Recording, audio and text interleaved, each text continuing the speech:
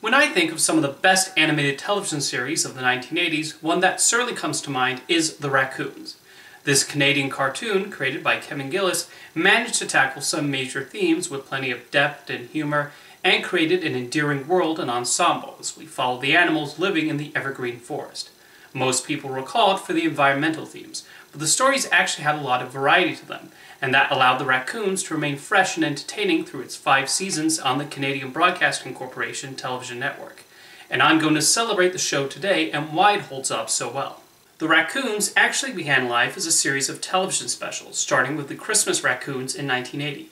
This was followed by The Raccoons on Ice in 1981 and The Raccoons and the Lost Star in 1983.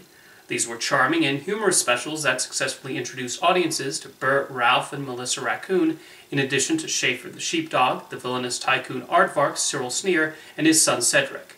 It's impressive how well realized these characters already were in their initial appearances, although Lost Star is a bit of an odd special, as it has Schaeffer flying to another planet and meeting aliens who are exact copies of the Evergreen Forest residents. It does explain why Broo the puppy has that star on his collar, though. These three specials were huge ratings hits for CBC, so it's no surprise the Raccoons television series was eventually greenlit. They also performed well in the United States, which led Disney Channel to provide additional funding for the series in addition to the option to air it on the network. The Raccoons was such a big deal for the CBC, they aired the show in prime time, rather than the expected Saturday morning slot usually reserved for cartoons at the time. The television series displayed a lot of sophistication in its writing, animation, and even the music. What's amazing when revisiting the series is seeing how the characters grow and evolve. Kevin Gillis was not intent on keeping the raccoons stagnant, and we see them encounter new challenges and adventures. This is probably most evident with Cyril Sneer, who is not written like your traditional cartoon antagonist. He was certainly greedy and did things for his own gain, which oftentimes blew up in his face when he met his comeuppance. However, Cyril also had his own morals and had lines he would not cross. He also had a genuine affection for Cedric, even if he did not always agree with him. As the series progressed, so did Cyril. In the beginning of the show, he was not opposed to causing destruction and trying to stop the raccoons at any cost. However, by the end of the series, Cyril is a full-blown environmentalist. A lesser animated show would have kept Cyril the exact same and not have him evolve beyond a cigar-chomping, tree-cutting baddie. There are even episodes where it's Cyril who gives someone a motivational pep talk, and more often than not, it's his pig assistants who are the sneakier more underhanded residents of Sneer Manor. Then there are the raccoons themselves, who are summarily fleshed out. Bert has his bumbling moments, but we also see his driving creativity on multiple occasions.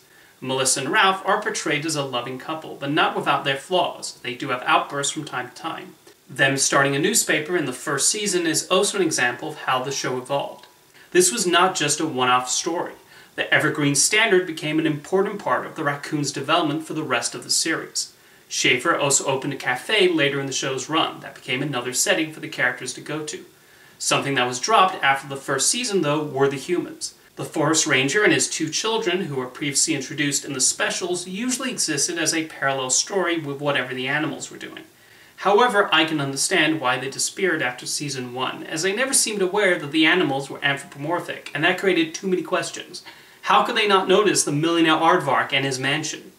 While a number of episodes had a slice of life feel or involved some sort of comedic mishap, the raccoons were also willing to put the characters in perilous situations. That gave it a sense of adventure and resulted in some episodes where the stakes were definitely there, whether it's the one where Cedric gets trapped in his father's vault, or the episode where Bert and Cedric get stuck on an island.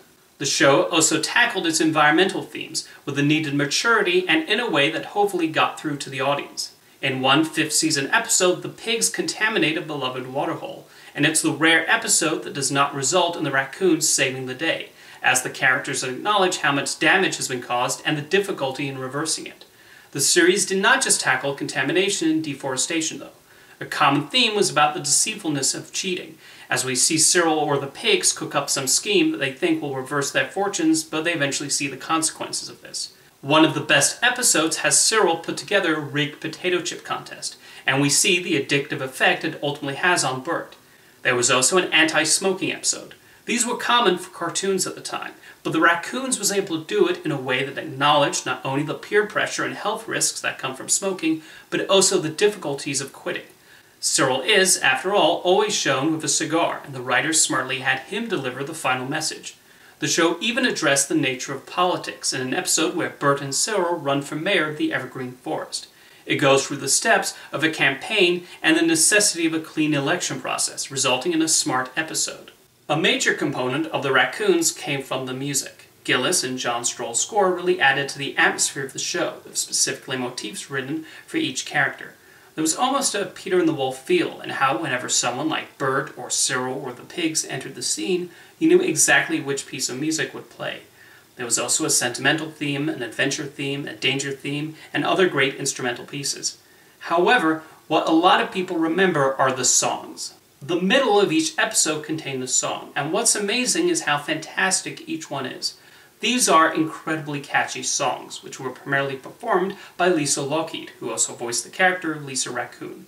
Stop the Clock, Growing Up, and Here I Go Again are some of the more familiar tunes for fans of the show, but the most well-remembered is the theme song Run With Us, which played over the end credits. This might be one of the best songs written for an animated series, with its catchy melody and unforgettable lyrics. A music video was even produced for Run With Us, which served as an incredible 80s time capsule. The show's visual style is incredibly appealing too, and add to the richness of the world. The evergreen forest has the needed beauty, and it makes sense why the animals feel such pride in the place. The character animation also deserves commending, as the animators give a lot of personality, and the designs are charming and distinct. The entire show is animated in Ottawa, first at Atkinson Film Arts, and then Hinton Animation Studios, and employed some top Canadian talent to work on it.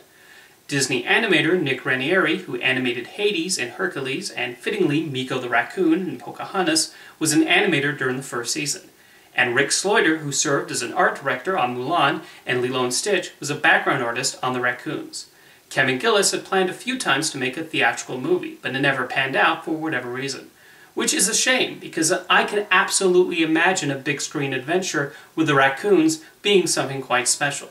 Either way, through its 60 episodes, The Raccoons was able to offer an original animated series with lovable characters and its own sound unique from other 80s cartoons. If you've never watched The Raccoons, or you want to revisit it, the production company's official YouTube channel recently made all the episodes available to watch for free. And there might be new Raccoon stories to come in the future.